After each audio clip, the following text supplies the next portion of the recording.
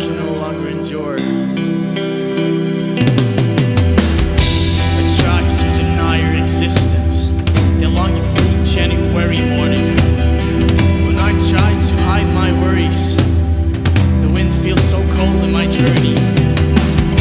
These memories prevent tranquility, like a piercing thorn that rests in my flesh. The pleasure of daylight on my skin so thin, once more anxiety.